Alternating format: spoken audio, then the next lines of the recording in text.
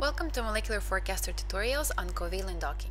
In this video, you will learn how to dock a small molecule into a protein using this workflow, and we will use a cathepsin protein to which a ligand is covalently bound as an example to run a self-docking calculation. To begin, you can select your working directory by clicking on Browse, and now you're ready to start forecasting. So the first thing we're going to do is type in the PDB code of the protein with which we're going to be working on, uh, so 5MAJ, and click on Download PDB. Next, we can exclude matchup uh, since we're going to be working with a single protein. Uh, and same thing goes for convert since we're going to be doing a self-docking study, which means that we will take the ligand that is currently in the protein, take it out, and then dock back into the active site. Therefore, we can skip these preparatory steps. Next, we're going to go through the different parts of the workflow and make sure that all the parameters are adjusted to what we need. Let's start with prepare. You can click on the cog to open a new window which lists all the parameters that have to do with this part of the calculation.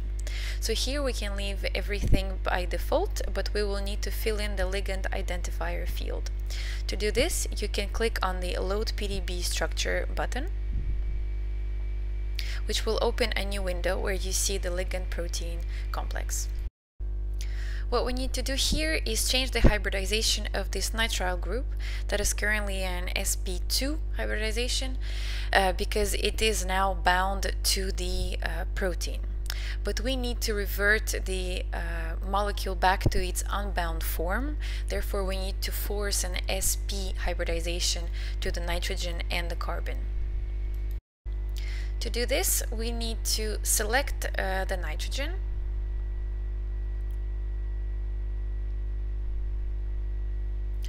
Then click on Forecaster and force SP hybridization.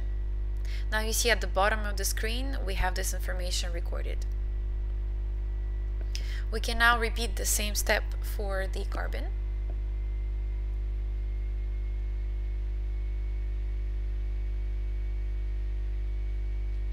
Which will add this information at the bottom right uh, corner. And the last thing that we need to do is select which uh, ligand the program will be working with. So for this we can pick any atom on our ligand molecule, then click on Forecaster and select ligand residues. See this appears now at the bottom of the screen as well. And now we are done, so we click on Forecaster and write keywords to save what we have selected. You can now close the window. You see now that this information that we just selected from the visualizer has been filled up in this uh, field that was previously empty. Uh, and now we are done and we can click on save to uh, save the, our selections and click on exit.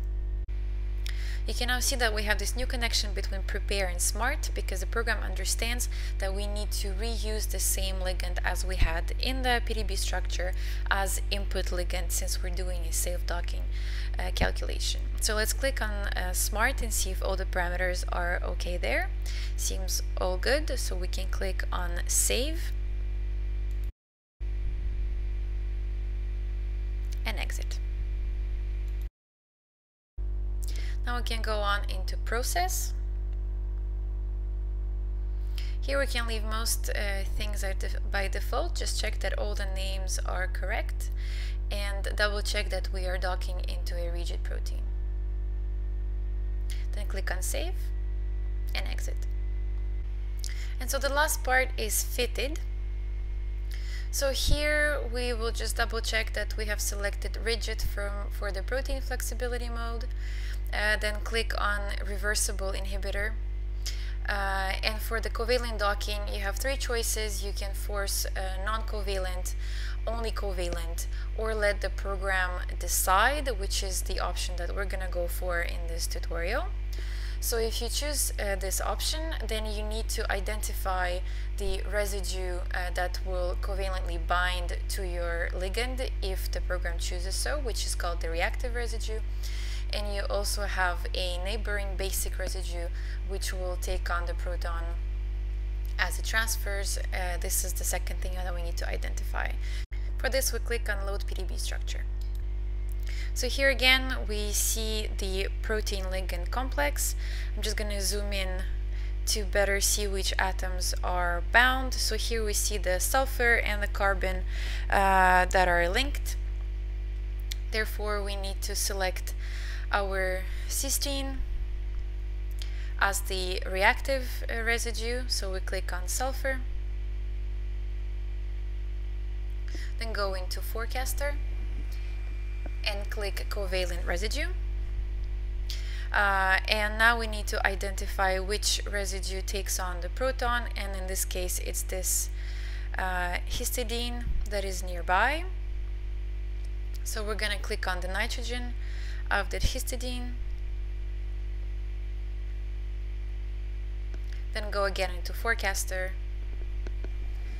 and click on adjacent basic residue. So now you see this information has been registered and we can see it at the bottom of the screen. Uh, so we can go into Forecaster and write keywords to save our selection. Then click on Close.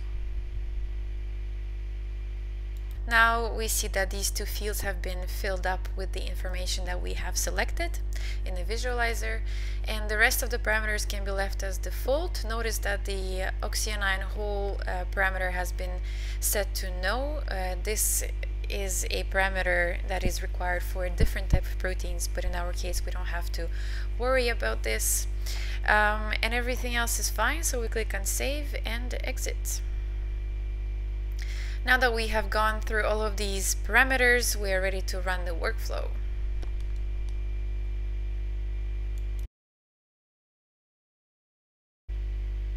Once the calculation is over, we are ready to see the results. For this, you can click on the magnifying glass and then go into open poses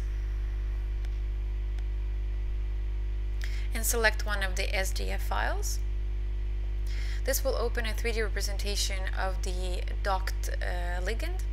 Uh, and on the bottom panel you can select uh, which parts of the system to view. So if you want the protein in there as well you just have to check mark that part. And we can see that the program has decided to covalently bind the cysteine to our ligand just like in the original file.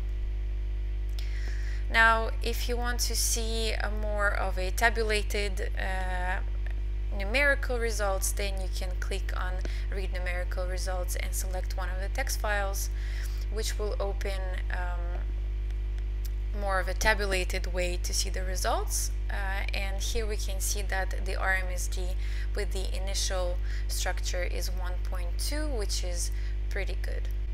So with this, we will end the tutorial, and now you're ready to run your own covalent docking.